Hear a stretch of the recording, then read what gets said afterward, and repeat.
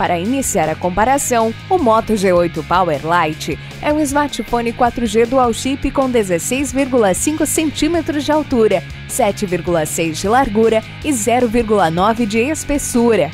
Por sua vez, o Samsung Galaxy A01 também é um aparelho 4G dual chip, mas com 14,6 centímetros de altura, 7,1 de largura e 0,8 de espessura.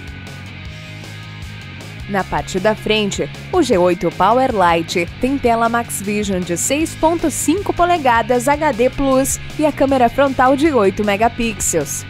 Já na parte da frente do A01, temos display infinito de 5.7 polegadas HD Plus e a câmera frontal de 5 megapixels. Agora, na parte traseira do G8 Power Lite, vem o sensor de digitais e a câmera principal tripla de 16, 2 e 2 megapixels com flash.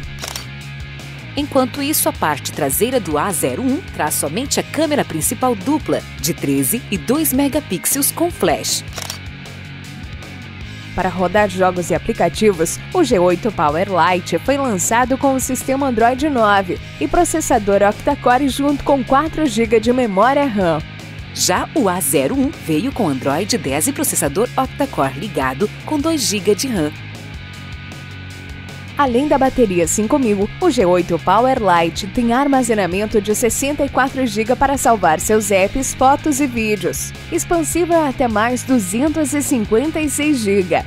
Do outro lado, o A01 conta com bateria 3000 e com armazenamento de 32 GB. Expansível até mais 512 GB.